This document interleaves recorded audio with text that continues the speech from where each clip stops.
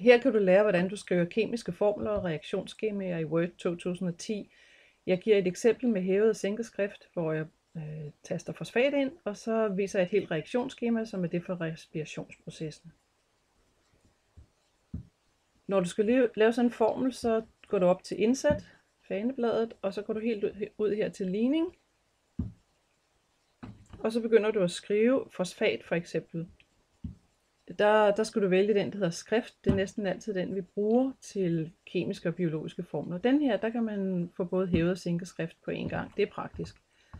Okay, så skal vi udfylde PO, og så skal vi gerne vise, at der er øh, fire oxygenatomer, og så vil vi også godt vide, vise, at der er tre negative ladninger på den her ion. Så er den klaret. Og når du klikker udenfor, jamen, så står ionen der lige som du vil have den. Hvis ikke du vil have den stående her inde i midten, men gerne vil have den stående ude i siden, eller midt i den tekst, du nu skrev i forvejen, så rykker du den bare derud, og så kan man skrive videre på den her linje, og videre og så videre.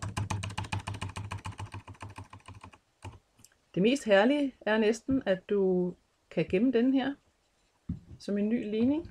Kald den, hvad du nu synes.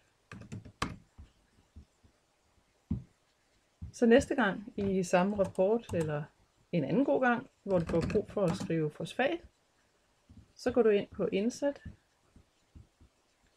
ligning, og så vælger du bare din fosfat. Og så står den der. Så vil vi selvfølgelig gerne lige have den til at stå i forbindelse med den tekst, man har skrevet. Skift til indbygget. Sådan. Så ser det pænt ud. Det næste, jeg vil vise dig, hvordan man skriver et helt reaktionsskema. Der går vi igen op på indsæt, ligning, og der kan vi begynde at skrive, og der vil vi gerne have, at øh, noget sukker bliver forbrændt sammen med ilt til kuldioxid og vand.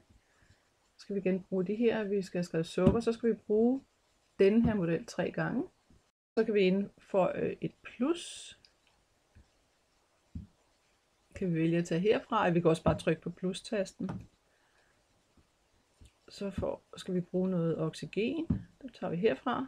Og så en reaktionspil er også nem at finde i det her op. Der er flere forskellige linjer, men vi kan tage reaktionspilen her.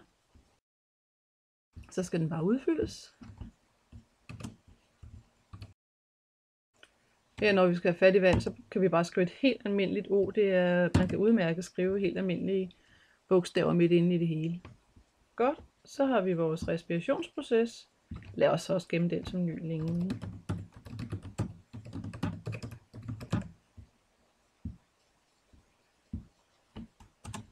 Det var det.